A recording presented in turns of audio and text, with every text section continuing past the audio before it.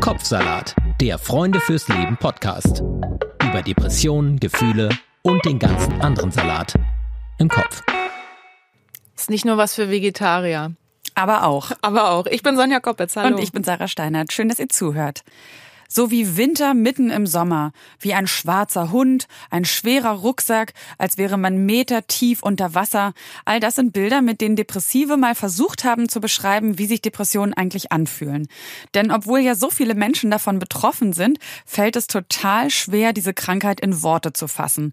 Wahrscheinlich auch, weil jedes Gehirn, jeder Körper, jede Seele sie ein bisschen anders erlebt.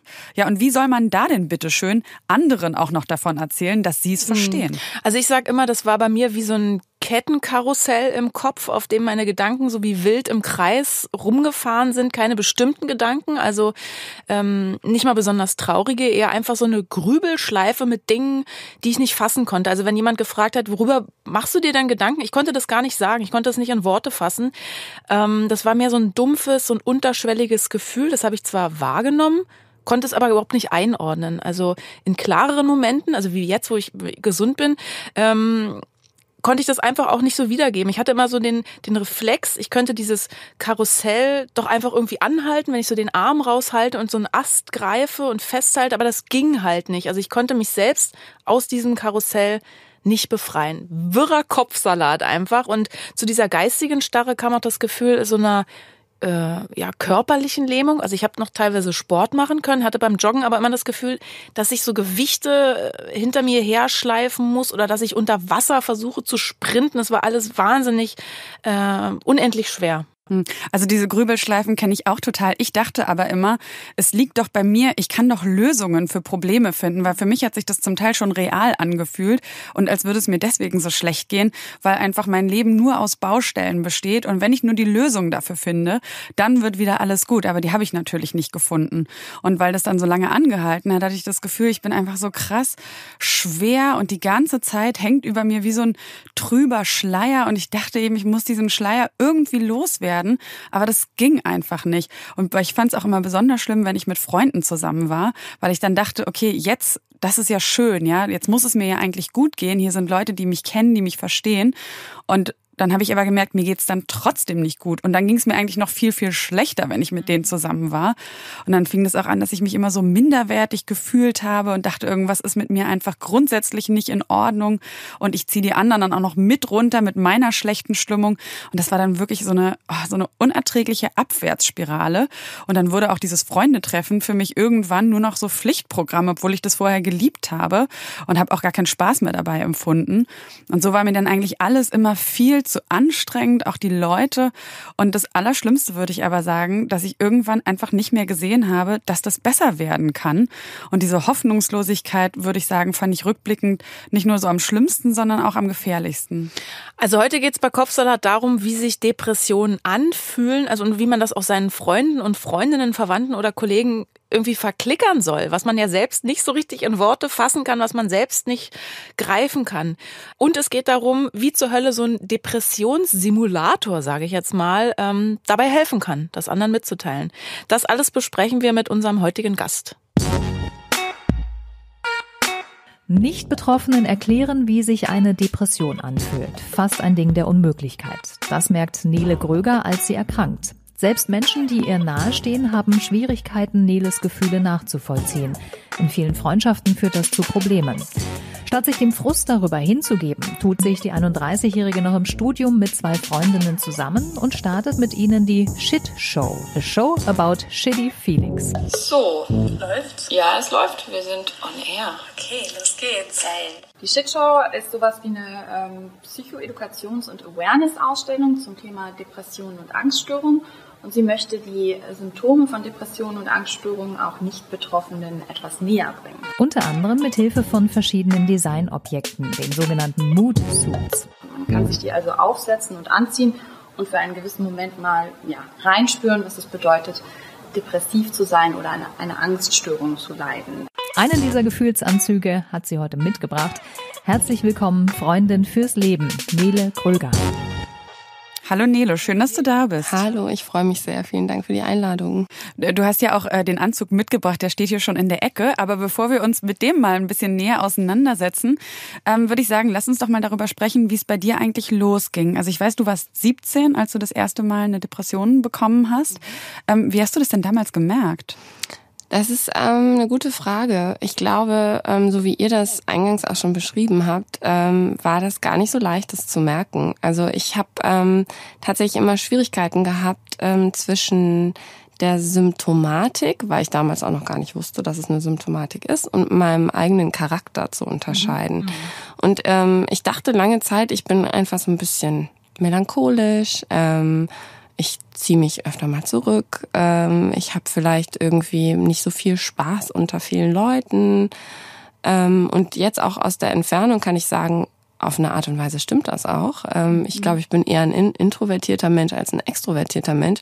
Aber das, was damals passiert ist, war anders. Ähm, das hat sich anders angefühlt. Es hat mit einer großen, ging mit einer großen inneren Verzweiflung einher, mit einem Gefühl der Hilflosigkeit und tatsächlich, da kommen wir ja vielleicht nachher auch noch drauf, so ein bisschen auch mit körperlichen Symptomen. Und ähm, ich hatte das Gefühl, ich bin dem Leben und der Welt und den anderen Menschen irgendwie nicht mehr gewachsen. Und das war, glaube ich, so der Moment, wo ich dann auch entschieden habe, irgendwas läuft hier falsch. Was hat, weil du jetzt die körperlichen Symptome schon angesprochen hast, wie hat sich das bei dir geäußert? Also, weil ich habe es ja vor allen Dingen beim Sport gemerkt, dass ich einfach gar nicht mehr so leistungsfähig war, obwohl ich mich so innerlich eigentlich gesund gefühlt habe vom Körper. Äh, aber es war alles so schwer und so langsam und so gelähmt. Ja, total. Also es ähm, war bei mir ähnlich. Also es ist eine, eine extreme Erschöpfung, Erschöpfbarkeit. Also viele Dinge, die ähm, eigentlich leicht fallen, sind auf einmal sehr, sehr schwer. Mhm. Ähm, und zum anderen war es aber auch, und das ist, glaube ich, wirklich sehr, sehr individuell und auch so ein bisschen komisch vielleicht gewesen, aber ich hatte ähm, ähm, so immer so, wenn ich so ganz starke Verzweiflungsgefühle hatte, habe ich so Schmerzen in den Armen mhm. gekriegt. Also ich habe so richtig so das so körperlich gemerkt, das waren wie so Entzündungsgefühle im Körper. Und ich glaube, es gibt mittlerweile auch schon Forschung, die irgendwie nachweisen, dass im Körper da Dinge passieren tatsächlich, dass da ähm, wie so ich nenne es jetzt mal Entzündungsprozess, das ist mhm. wissenschaftlich jetzt wahrscheinlich nicht safe, aber ähm, dass da was passiert im Körper auch. Und ich habe diese Gefühle körperlich gefühlt und ich habe einfach gemerkt, ähm, ich bin wie erkrankt. Also mir fehlt Kraft, mir fehlt, ähm, mir fehlt Ausdauer, mir fehlt ähm, ja so eine innere Spannung. Ich weiß gar nicht, wie ich das sonst beschreiben soll tatsächlich, ja. ja. Aber wahrscheinlich auch eher so schleichen. Ne? Also es ist nicht, du wirst wahrscheinlich auch nicht an einem Morgen aufgewacht und plötzlich waren all diese Symptome da, sondern ich würde jetzt mal schätzen, dass sich wahrscheinlich das auch so langsam entwickelt hat. Ne? Voll. Und das macht es so schwer, das auch so zu identifizieren, dass dann doch irgendwie plötzlich was anders ist, was ja was neu ist und was man sich vielleicht mal näher angucken müsste. Absolut. Also es war ähm, total schleichend und wie gesagt, ich glaube auch bei vielen Leuten, die sowieso ähm, vielleicht jetzt nicht so äh, Life of the Party sind ständig, sondern vielleicht eher so ruhigere Charaktere, ist das auch manchmal sehr schwer, das dann auch zu differenzieren, ab welchem Punkt wird es wirklich auch zu einem extremen Leidensdruck und auch zu einer pathologischen Geschichte irgendwie. Und das war bei mir mit 17 dann absolut gegeben, ja. Da könnte man ja auch noch fast sagen, es ist Pubertät. Ne? Das ist vielleicht auch schwierig, das dann auseinanderzuhalten. Ähm, ich habe mir vorhin an so ein, äh, an eines meiner Lieblingszitate gedacht von Monty Python. Das heißt, Life is a piece of shit if you look at it. Ähm, und das ist ja auch bei vielen Depressiven äh, so, die, so ein Grundgefühl, wie so, Gott, wenn ich mir eigentlich alles ganz genau angucke, angucke, und das macht man ja auch oft in der Depression, man guckt sich die Dinge dann ähm, ja so gezwungenermaßen sehr genau an und kommt dann vielleicht zu dem Schluss, eigentlich ist wirklich alles scheiße. War das bei dir auch so? Oh, ja, total. Also ähm, ich hatte ja dann äh, mehrere auch ähm, depressive Episoden, also ähm, jetzt waren es drei in der Zahl ähm, und ich glaube, in diesen Phasen ist es tatsächlich so, dass man einfach den Blick aufs Leben, der sich extrem verengt und auch extrem trübt und man ähm, ja, wie du sagst, the piece of shit eigentlich irgendwie täglich vor Augen hat. Doch, ja. Deswegen auch die Shit-Show. Richtig, genau. Wie haben sich denn deine drei äh, depressiven Episoden voneinander unterschieden? Haben die sich unterschieden in den, also in den Symptomen oder wie, wie sie sich bemerkbar gemacht haben?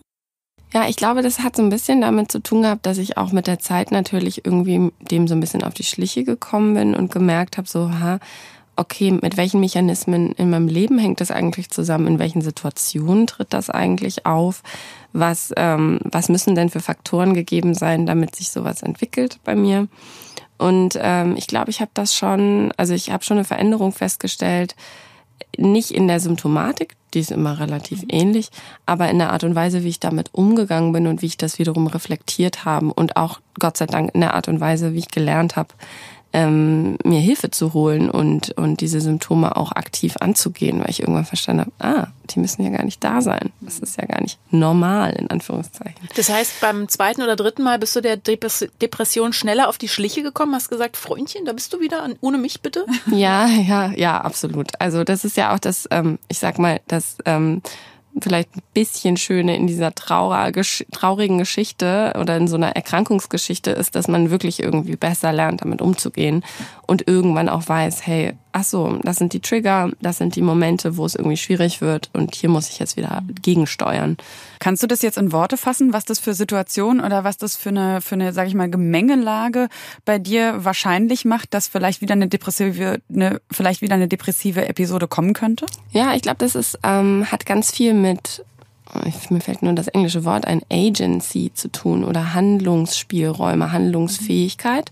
Es hat was mit ähm, Selbstermächtigung zu tun. Ich glaube, in Momenten, wo man äh, nicht, wo man sich vom Leben hin und her geworfen fühlt und keine Handlungsmacht über sein eigenes Leben hat, im Sinne von, ich habe einen Job, der scheiße ist, meine Beziehung ist irgendwie schwierig, ich weiß nicht, was ich will in meiner Beziehung, ich bin irgendwie fühle mich so wie so ein Fähnchen im Wind. Ähm, und ich glaube, das Beste, was bei mir geholfen hat, ist mir über meine eigene, man sagt ja auch immer, erlernte Hilflosigkeit ist das ja. eigentlich so ein bisschen. Und sich aus dieser erlernten Hilflosigkeit zu befreien, mit Hilfe einer Therapie beispielsweise oder Medikamenten, ähm, dagegen zu steuern und zu sagen, ich kann etwas an Situationen ändern, ich kann mein Leben gestalten. Und ich glaube, in Situationen, wo man sein Leben schwierig selbst gestalten kann, ähm, fällt man leichter in solche Symptome. Aber kannst du ganz konkret sagen oder weißt du das, was bei dir im Alltag oder in deinem Leben die Auslöser waren? Also ich ähm, bin mittlerweile relativ sicher, dass die letzte ähm, Episode, die ich hatte, vor allen Dingen stärker ausgelöst war durch jobliche ähm, Sachen, dass ich einfach gemerkt habe, ich bin da sehr unglücklich. Ich muss was Eigenes machen und ich glaube, das liegt auch irgendwie viel im, im, im Herzen von Menschen, die irgendwie dann auch sich selbstständig machen, ist so dieses Gefühl von, ich muss etwas aus mir heraus mhm. machen und ich muss das selbst gestalten, ich muss das selber schaffen. Und damals war die Situation einfach so, ich habe mich gefangen gefühlt in ich habe damals noch in der Werbung gearbeitet, ähm, in diesem, in dieser Idee Werbung und in der Art, wie man Werbung macht und, und was Kunden wollen, und was Kunden wollen und was der Chef will und ähm, als es dann anfing, dass es mir nicht so gut ging, kam noch dazu, und das ist ja auch ein großes Thema bei uns in der Shitshow, ähm, der jetzt zu einer Agentur herangewachsen ist. Ähm, wie gehen man, geht man eigentlich im Job mit diesen Symptomen um? Also wie kann ich meinem Chef davon offen erzählen? Trifft das auf offene Ohren, auf Verständnis? Ähm, was sind da eigentlich für Faktoren, die mich da vielleicht auch behindern? Ich finde das total interessant, dieses Agency-Problem, wie du das gerade genannt hast.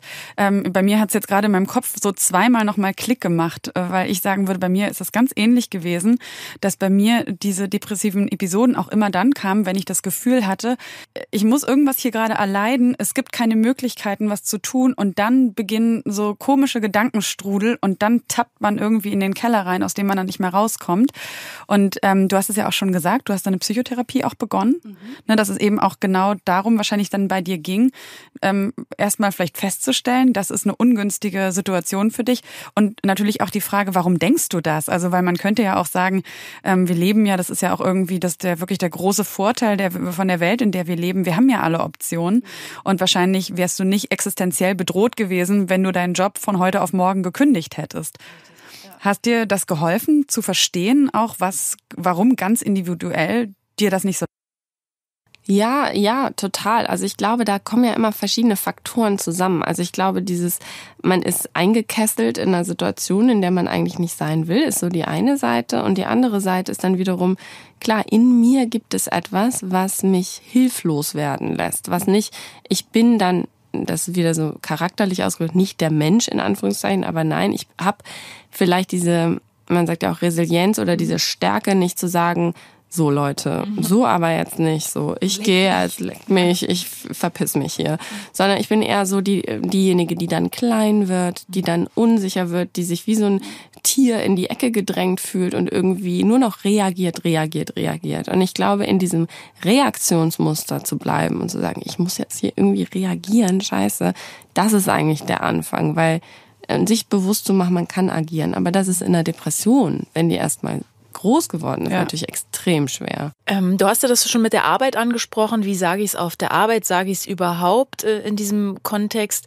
Ähm, ich würde gerne über dieses Thema Schamgefühl sprechen. Kennt, kennt ihr dieses Gefühl, dass man ähm, ja, dass andere Leute denken könnten, man würde sich das nur ausdenken oder die Depression so als Ausrede benutzen?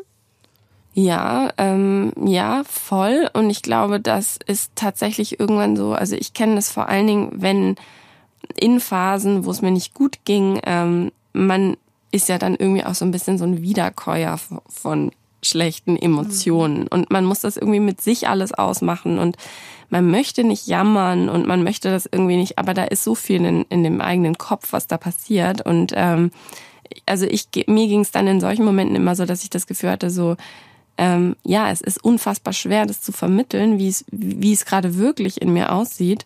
Und ähm, auf eine Art und Weise schäme ich mich dafür, dass ich halt nicht besser damit klarkomme, dass ich es nicht sofort ändern kann, dass ich nicht sofort irgendwie der Herr über diese Gefühle werde oder die Herrin. Ähm, aber genau, das war, glaube ich, so der Charmoment bei mir. Kennst du dann auch so eine Gefühle von so Selbsthass? Ja, ja, dass man halt irgendwie wirklich anfängt ähm, zu denken, okay, also andere kriegen es ja auch hin. Die kriegen es irgendwie gebacken. Warum bin ich die Einzige, die jetzt hier rumliegt wie so ein Klops und es nicht hinkriegt? Und ich glaube, ähm, ähm, es gibt ja viele Klöpse da draußen. Also einer von vier Menschen erkrankt ja einmal in seinem Leben mindestens an einer psychischen Erkrankung. Und ich meine, ich glaube, das zu wissen hilft dann schon irgendwie, aber trotzdem fühlt man sich damit doch manchmal sehr allein, ja. Wie hast du dann reagiert? Hast du dich irgendwie angestrengt, dich trotzdem zu freuen oder so zu tun, als ob? Oder wie, wie hast du das dann gemacht? Ähm, ich glaube, ich habe mich vor allen Dingen eine Zeit lang wirklich zurückgezogen und ich glaube, das ähm, war auch gut in der in der Phase, weil ich gemerkt habe, dass so dieses, man kommt ja dann manchmal auch in diesen Aktionismus zu sagen, Rückzug ist doof. Mhm. Das äh, ist nicht gut. Ähm, das ist wieder ein negatives Muster. Nein, geh raus. Du musst mit Leuten reden und so. Und das ist in manchen Situationen, glaube ich, gut, wenn man sich mit diesem Gefühl verbinden kann, zu sagen, ich traue mich das jetzt, ich, ich, ich gehe dagegen an. Mhm. Und in manchen Situationen ist es, glaube ich, aber auch gut, sich den Raum zu nehmen, zu heilen und ähm, heile zu werden und nicht ständig damit konfrontiert zu werden, was andere Leute gerade von einem wollen könnten, was ja meistens auch gar nicht stimmt. Mhm. Aber man hat es ja in seinem Kopf. Und ich glaube, deswegen ist dieser Moment des Rückzugs für mich total wichtig gewesen. Ich habe das dann einfach benutzt, diese Zeit, um, um, um zu heilen, tatsächlich. Es gibt ja auch immer die Diskussion darum, ähm, weil viele Leute sagen ja dann, die erste Depression kam, da ist das und das passiert. Die zweite, da hatte ich vielleicht einen Unfall und das waren immer so die Auslöser. Und ähm, in der Forschung ist man sich ja noch gar nicht so richtig einig, ob es wirklich diese Auslöser braucht oder ob das nicht eben auch so eine komplizierte Gemengelage aus psychosozialen Faktoren, biochemischem Gleichgewicht äh, und so weiter ist. Und ähm, was ich aber interessant finde, ist, ich frage mich auch, weil du hast jetzt ja nicht erzählt, dass es so konkrete Auslöser gab, also externe Faktoren. Ähm, ich kann mir aber auch vorstellen, dass vielleicht viele Leute die auch extra suchen, weil das kann dann auch eine Entschuldigung sein für diesen Rückzug, weil das ist ja auch so schwierig in der, in der Depression, finde ich. Ähm, einmal dieser, dieser Trouble, dass man denkt, ist das jetzt das Richtige für mich? Aber auch dieses, sich das einfach zu trauen. Als mein, zum Beispiel mein Vater gestorben war, war das so, dass mir ganz viele Leute immer gesagt haben, ja, das ist doch jetzt okay, wenn du dich jetzt zurückziehst. Aber das hatte mit seinem Tod zu tun und eigentlich nicht so unbedingt damit, dass ich mich einfach so ganz verletzlich, roh und schwach gefühlt habe. Das ist natürlich auch der ein ganzer nächster großer Teil und mit dem beschäftigt ihr euch ja auch in der Shitshow, dieses ganze ich bin nicht alleine in meinem Vakuum, sondern ich bin ja auch als Depressiver in Interaktion mit anderen. Und darüber wollen wir natürlich auch mit dir sprechen, über den Umgang mit Nicht-Betroffenen im eigenen Umfeld. Und da muss man sich manchmal äh, komische Sprüche anhören. Es ist nur eine Phase, Hase. Entspann dich mal. Na, hab dich doch nicht so. Du hast doch alles, was du brauchst. Dir geht's doch gut. Reiß dich mal zusammen. Kommen dir solche Sprüche bekannt vor? Hast du auch sowas manchmal gehört, wenn du gesagt hast, äh, ich habe eine Depression? Ähm, also ich glaube, ähm, also ich glaube, dass es sich im Alltag oftmals subtiler zeigt. Also mir hat niemand gesagt, das ist doch nur eine Phasehase oder vielleicht hätte dich der Spruch schon aus der Depression geholt. ich glaube, ich glaube auch, ja, auf jeden Fall. Ähm, ähm, aber klar, also ähm, ich glaube, auf eine subtile Art und Weise bekommt man solche Botschaften. Das ist mhm. vielleicht nicht ganz so direkt, aber man hat bekommt das Gefühl vermittelt, so naja, aber äh, guck doch mal, also das ist wirklich alles. Es ist wirklich okay. So, du hast doch einen Job und du hast mhm. doch Freunde und du hast doch eine Familie und guck doch mal, es ist irgendwie gar nicht. Und übrigens, die Welt ist auch gar nicht so dramatisch, weil es passieren ja auch schöne Sachen. Ähm, und das ist äh, ja auch richtig. Ähm, aber in man fühlt es nur nicht. Man fühlt es halt nicht. Mhm. Und das ist halt äh, super schwierig, genau, ja, das, äh, diesen Gap dann irgendwie zu überbrücken, ja. Und gerade auch mit guten Freunden, also den hast du wahrscheinlich ja irgendwann dann sagen müssen, Leute, das ist, ich, ich weiß, ihr habt vielleicht auch recht mit diesen Sprüchen, ich kann das aber trotzdem einfach nicht herstellen, ich habe eine Depression. Wie ist dann dein nahes Umfeld damit umgegangen, also deine Familie und deine engeren Freunde? Das ist ganz interessant, weil ähm, diese Diagnose ist ja erstmal auch eine Art, ähm, wenn man sich die selber anzieht. Das ist ja schon mal irgendwie ein Schritt, ne? Zu sagen so, okay, jetzt der Stempel. Hm. Für viele Leute ist das ja eine Entlastung und äh, für manche ist es auch irgendwie eine Belastung.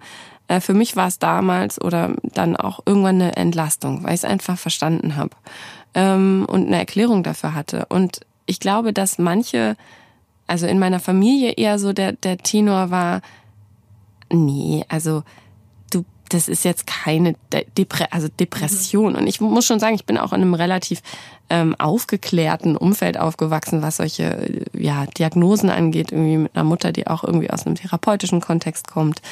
Ähm, aber ich glaube, es ist sehr schwer, ähm, das zu sich zu erlauben, auch vielleicht auch als, als Mutter, Vater oder als den anderen dann so in so einer Rolle zu sehen. Ich glaube, das fällt sehr schwer. Und ich glaube, das ist auch, vielleicht möchte man auch verhindern, dass der andere sich zum Opfer macht. Mhm. Also ich glaube, ja. manchmal hat das ganz viel mit diesem so, ähm, nein, du, du schaffst es irgendwie und das ist so, und ähm, ja, ich glaube, von meiner Familie kam da eher so ein bisschen so, so Unglaube oder so ein, so ein, so ein Zweifeln ähm, was mich irgendwann aber auch, was mir dann irgendwann egal war, was dann auch okay war. Aber ähm, von Freunden war es eigentlich eher sehr, sehr unterstützend, muss ich sagen. Haben die auch konkret gefragt, wie sich das anfühlt? Ja, also ich habe ja vor allen Dingen in der Shitshow das große Glück, dass ich mit Johanna und Luisa gegründet habe und wir Freundinnen sind und wir uns ständig über solche Sachen unterhalten und auch viel so ähm, ich habe, das war das so unschön, aber so Psychohygiene machen, also ganz viel darüber reden. Und das, ähm, das funktioniert total gut und ich glaube, dadurch haben wir auch ähm, über die Zeit äh, ähm, kennengelernt, wie der andere so tickt. Und mittlerweile ist es schon fast so ein bisschen ein Running Gag, wenn ich so einen so ein bisschen so einen schwarzen Tag hab oder so, das sind so, ah ja, Nele hat wieder die Brille auf, okay, da gibt's so, hm, alles klar, so, alles klar. Ähm, und irgendwie haben wir eine gute Art und Weise gefunden, damit umzugehen. Weil die beiden wahrscheinlich gut nachvollziehen kann, wie sich das anfühlt in einer Depression, aber das, das weiß natürlich nicht jeder. Und wir haben mal auf der Straße ähm, gefragt, was glaubt ihr, wie fühlt sich eine Depression an? Fühlt man eine Depression? Das ist die Frage weiß der Depressive, weiß, dass, dass er depressiv ist. Deswegen würde ich sagen, dann denkt man halt äh, schon anders, man bekommt es ja nicht mit. Weil ich kenne jetzt sehr wenige, die sagen von sich aus, ja, ich bin depressiv, ich gehe zum Arzt. Na, mir würde es immer schlecht gehen, ich würde immer traurig sein, auch so traurige Musik hören, dass es mir noch schlechter geht und so. Was meinst du, wie sich das anfühlt, wenn man so eine Depression hat? Ich denke, dass sie denken, dass so die Welt so schlecht ist und dass äh, alle ihn hassen. Man jammert so ein bisschen rum, man, äh, man meckert ein bisschen mit sich selber rum, man äh, wirft sich vieles vor, Fehler gemacht zu haben. Hast du eine, eine, Idee, was da im Kopf passieren könnte oder so, was man dann vielleicht denkt in dem Moment? Vielleicht ähm, denkt man zu viel nach und denkt so, äh, was ähm, andere von einem wollen, dass man sich vielleicht überfordert mit sich selber fühlt. Und auch nicht mal, dass man echt viel Negatives fühlt, aber mehr, dass man nicht so viel fühlt, immer im Allgemeinen auch. Dass alles ein bisschen abgeflacht wird halt. Man fühlt sich nicht wie sich selber, man fühlt sich doch alleine und nicht verstanden. Ich glaube, man fühlt sich so leer oder so. Und, und, meinst du, man kann das in dem Moment, wenn man so krank ist, das irgendjemandem erklären? Oder wie kann man das jemandem erklären, wenn man eine Depression hat? Weil man sieht es ja nicht. Das ist anderes, wenn man dann eins selber hat, dann denkt man ja auch anders da wieder darüber nach. Es ist, glaube ich, schwer zu beschreiben. Wenn jemand noch keine Depression hatte, können die sich nicht so richtig reinversetzen, oder? Wie sich das anfühlt, kommt dann oft immer nur die Antwort, ja, traurig. Hm. Ja, traurig und das, man merkt dann, das wird sich dann sehr lang gehangelt an dem, ähm, was man von außen auch erkennen kann. Ja, und das, was dann eigentlich nochmal passiert, was man dann dabei fühlt bei den Symptomen, das ist so diffus, das kann man ja selbst als Betroffener gar nicht so beschreiben. Ne? Actually, I've never been in a depression before, so I can't exactly know how does it feel really. I, I think I have to ask someone who is in depression, and he will know exactly the um, the pain. I think inside. Was meinst du denn? Wie fühlt sich das an, wenn man eine Depression hat? Scheiße halt. Scheiße halt. Äh, Nele, ähm, hast du dir manchmal gewünscht, äh, dass eine Depression besser sichtbarer wäre für Außenstehende? Auf jeden Fall. Also ich glaube, ähm, ich fand es gerade super spannend, äh, die Einspieler zu hören, weil ich glaube, dass gerade dieses, man ist in der Depression und denkt selber über sich und seine Symptome und Gefühle nach und das wird dann auf einmal, bekommt das etliche Metaebenen und man kommt überhaupt nicht mehr selber daran, das beschreiben zu können. Also ich fand es gerade ziemlich, ziemlich gut und ich hätte mir auf jeden Fall gewünscht, dass man es von außen sehen kann, ähm, damit man es fassen kann, damit es besser verstehbar ist. Auf jeden Fall, ja. Glaubst du, dass es auch ähm, nicht so mm, vielleicht auch diese, diese das Problem ist, dass es vielen Leuten so ein bisschen unangenehm ist, darüber zu reden, weil einige Symptome, das ist ja so ein bisschen auch das Schwierige, kennen ja Leute vielleicht auch in abgeschwächter Form von sich selbst mhm. ähm, und dass sie es deswegen auch so unangenehm finden über etwas, was sie so ein bisschen nachempfinden können, aber nicht vielleicht in dem Ausmaß, dann darüber zu sprechen, vielleicht weil ihnen das auch Angst macht oder weil das einfach so ein Du hast es vorhin auch schon gesagt, das ist irgendwie das ist nicht so ein schönes Thema und das hat auch nicht diesen Schiller vielleicht von einer Schizophrenie oder so, ne, die so, so, die, die so extrem ist, sondern diese Depression ist ja irgendwie sowas, sowas sehr Innerliches und ähm, ja, was irgendwie ja auch meistens nicht diese starken Ausschläge hat, also außer man ist vielleicht manisch-depressiv.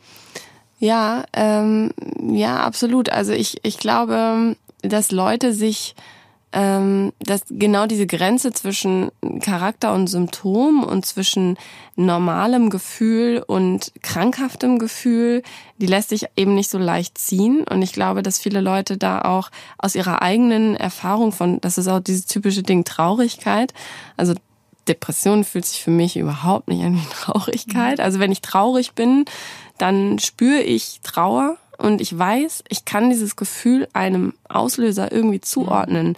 Wenn ich depressiv bin, ist das eher eine innere, schreiende Verzweiflung, Erschöpfung plus ähm, Unfähigkeit dagegen anzugehen. Und ähm, ich, das hat sich fühlt sich sehr anders an, aber das ist dann irgendwie sehr schwierig voneinander zu unterscheiden für Außenstehende natürlich. Kannst du nachvollziehen, dass es für Außenstehende vielleicht manchmal auch wirklich nervig ist, mit Depressiven zu sprechen. Also ähm, es ist jetzt vielleicht ein komischer Vergleich, aber wenn jemand zum Beispiel eine Freundin Liebeskummer hat und das hat natürlich einen Auslöser, diese Traurigkeit. Und du denkst so, ja, aber das geht auch vorbei. Reiß dich mal zusammen. Und es geht bei der Depression eben nicht von alleine vorbei. Und dass es dann nervt für Außenstehende, die gesund sind und die denken, reiß dich doch jetzt am Riemen. Hm, absolut. Und ich glaube auch, dass das der Grund ist, warum halt Angehörige ein unglaublich äh, wichtiger Faktor in dem Ganzen sind, aber unglaublich gut auf sich aufpassen müssen. Also ich habe das in, in meinen depressiven Episoden auch immer besser gelernt, mit meinen Lieben irgendwie auszuhandeln, also auch mit meinem Partner, dass man irgendwie es schafft, ähm, das anzugucken gemeinsam, da ähm, ehrlich mit umzugehen und sensibel mit umzugehen und gleichzeitig aber auch Grenzen zu ziehen und zu sagen, das ähm, kann ich, so weit kann ich jetzt nicht mehr gehen und ich möchte das auch nicht mehr. Und dann aber zu lernen als ähm, Depressiver in dem Moment, der in dieser Phase ist, hey, ähm, er lässt mich nicht fallen. Ich bin, ähm, ich bin okay, so wie ich bin. Und es, äh, es, ist, es sind sehr, sehr, ähm, sehr schwierige Lernprozesse, ähm, da auch das Umfeld mit ja, ich sag mal, verantwortungsvoll mit den Symptomen zu ähm, belämmern, sage ich jetzt mal, und gleichzeitig aber auch für den für den Partner oder für die für die Bezugsperson ähm, Grenzen zu setzen einfach. Das muss man echt lernen. Oft funktioniert der Verständnis ähm, untereinander dann besonders gut, wenn die andere Person es einfach auch schon erlebt hat, schon weiß ganz genau, ah, okay, hatte ich auch schon. Ähm, da weiß ich noch, wie ich mich gefühlt habe. Und das haben wir ja schon gesagt, ist bei der Depression eben relativ schwierig, wenn jemand das noch nicht erlebt hat. Und dem auch dann eben so ganz genau zu beschreiben, wie fühlt sich das eigentlich an. Und genau das ist ja eben auch Teil ähm, eures Anliegens als Shitshow. Also ihr habt ja versucht, diese Brücke quasi zu schlagen zwischen Betroffenen und nicht Betroffenen. Und ähm, ja, vielleicht kannst du das nochmal besser zusammenfassen, Nele. Wie macht ihr das? Also welche Wege habt ihr da entwickelt? Ganz ursprünglich äh, kommt unser, ähm, ja, unsere Ausgründung unserer Agentur aus einem Ausstellungsprojekt. Und zwar ist das die Shit Show, a Show about Shitty Feelings. Und ähm, die Shitshow ist ähm, eine Pop-up-Ausstellung, wo man einfach reingehen kann und da steht auch mit Absicht nicht eine Ausstellung über Depressionen und Angststörungen drauf, sondern da steht a Show about shitty feelings. Es geht also auf gut Deutsch erstmal um Scheißgefühle. Und alle Leute, die da reingehen, können sich ähm, Objekte anschauen und anfassen und aufsetzen. Und das sind die sogenannten Mood Suits.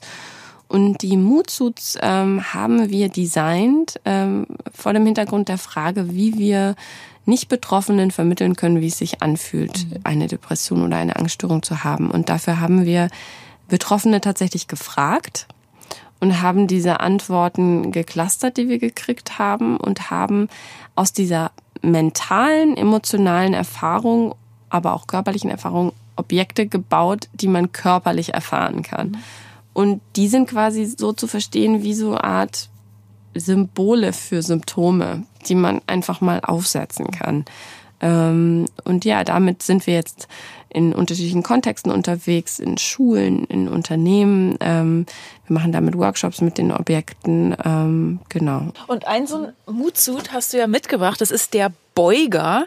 Ähm, wie funktioniert der? Ich würde den jetzt mal anlegen oder du hilfst mir dabei. Ja, gerne. Es, äh, ich beschreibe es mal kurz. Es sieht aus wie so ein, ähm, ja, wie so ein Rucksack, aber der nur so aus einer Ebene besteht und sich dann so wahrscheinlich über den Kopf drüber beugt? Oder genau, was? genau. Du müsstest jetzt die Arme einfach durch diese Schlaufen durchmachen. Ja, es sieht auf jeden Fall, ist es gar nicht so einfach, aber man sieht schon, Sonjas Kopf kippt nach vorne und Sonjas Kopf ist so tief nach vorne gekippt, dass ähm, ich glaube, du hast es jetzt gar nicht mehr so leicht in das Mikro reinzusprechen und uns gleichzeitig anzugucken. Wenn ich jetzt spreche, hört sich das so an, weil ich jetzt so ein Doppelkinn mache. Genau, man macht so ein Doppelkinn und eigentlich, wenn man es noch ein bisschen fieser machen will, dann kann man diese, diese Riemen noch so ziehen wie bei einem Rucksack. Ja, oh! Manche Leute sagen auch, das ist eher so ein ähm, Rückenschadenssimulator.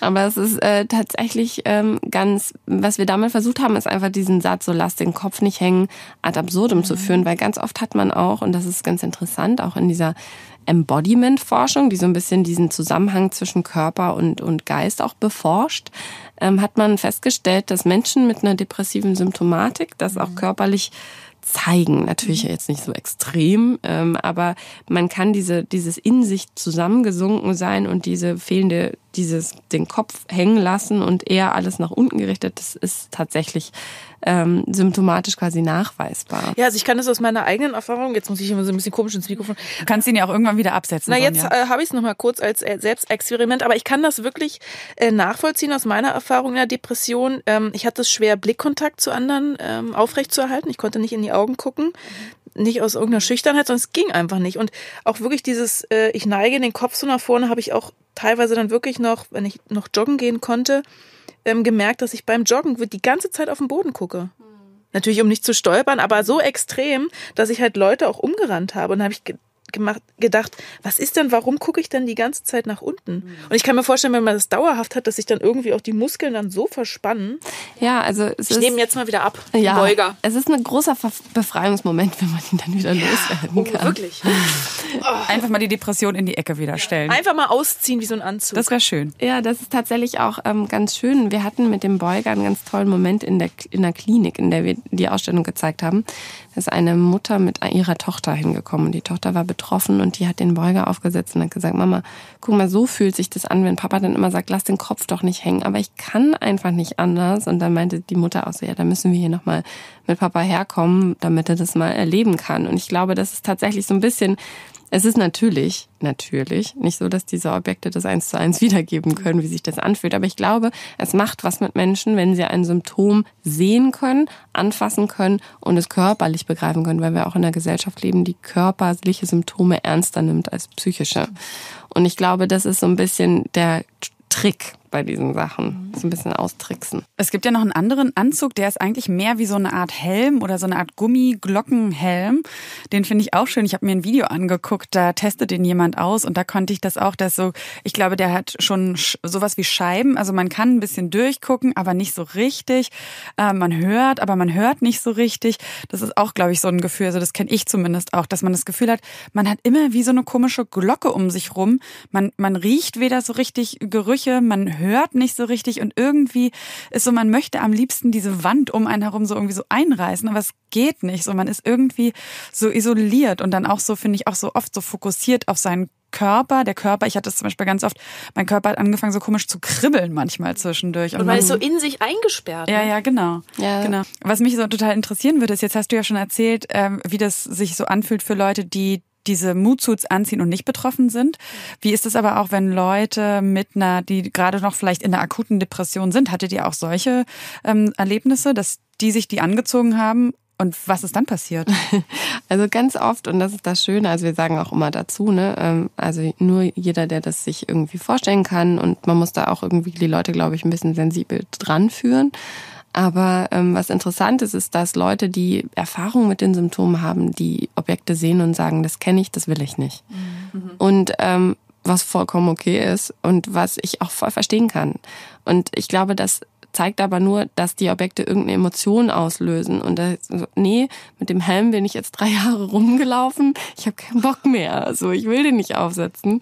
Und ähm, absolut. Also da gibt's äh, gibt's oft Fälle oder auch Leute, die es halt immer ausprobieren, dann merken. Mhm. Also das ist auch so ein Moment, wo man äh, sagt, okay, das ist ja auch ein Sensibilisierungstool. Also in dem Moment, wo ich verstehe, ah, ach so, ja, ja, stimmt, das ist so ein bisschen dumpf gerade alles und ich habe das Gefühl, ich gehöre nicht mehr richtig dazu und es ist wie Milchglas zwischen mir und der Welt. Naja, vielleicht sollte ich mal, vielleicht sollte ich da mal gucken. Und das ist auch so ein Moment, den man kennt mit Leuten, ja. Ihr klärt mit der Shitshow, also mit eurer Agentur, ja nicht nur über psychische, Erkrankungen, ihr macht nicht nur erlebbar die psychischen Erkrankungen, sondern ihr klärt auch gleichzeitig darüber auf, wie man präventiv besser mit diesen Erkrankungen, mit der Depression zum Beispiel umgehen kann. Mhm. Wie denn?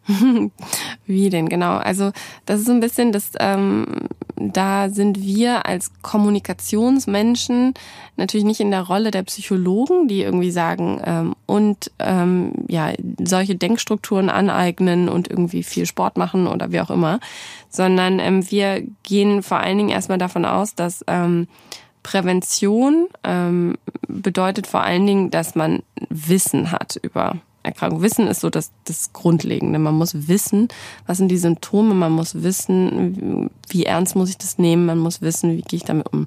Das ist so das Erste. Und das Zweite, was uns echt wichtig ist, ist, dass das Umfeld sensibilisiert ist für ähm, erste Symptome, für Frühsymptome, weil man hat auch nachweisen können, das belegen auch Studien, dass das soziale Umfeld wahnsinnig wichtig ist ähm, im, im, im äh, Feld der Prävention. Weil die im ähm, Zweifel ja auch ähm, früher merken, dass was nicht stimmt als ja, man selbst. Total. Also wenn man selber in so einer Wolke gefangen ist, sage ich mal, dauert es relativ lange, bis man diese Drübersicht bekommt, bis man aus Vogelperspektive auf sich schauen kann, sagen, ah, irgendwas hat sich hier verändert. Freunde merken das äh, relativ schnell. Partner merkt das schnell, Familie merkt das schnell. Und vor allen Dingen, wenn man eine Vorgeschichte damit hat, dann glaube ich, äh, ist das Umfeld natürlich doppelt sensibel. Ähm, und genau, und das dritte ähm, ist so ein bisschen das ähm, ähm, Wissen, Sensibilisierung und Qualifizierung, dass die Leute irgendwie auch wissen, was kann ich dann tun. Also klar, Therapie ist, ist gut, macht eine Therapie auf jeden Fall. Medikamente sind nicht zu verteufeln, äh, können helfen. Und ähm, dass man so ein bisschen Grundwissen dafür schafft, ähm, das ist handelbar, es ist zu bewältigen, es ist kein Schicksal, es ist eine Erkrankung und die geht auch wieder vorbei. Scheiße geht vorbei.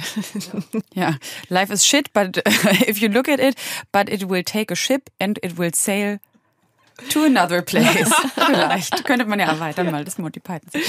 Also ihr nähert euch ja diesem Thema Depression auch auf eine künstlerische Art und Weise, kann man sagen. Ihr macht das erlebbar. Warum glaubst du, hilft das? Also dieser bisschen andere Ansatz, den ihr habt.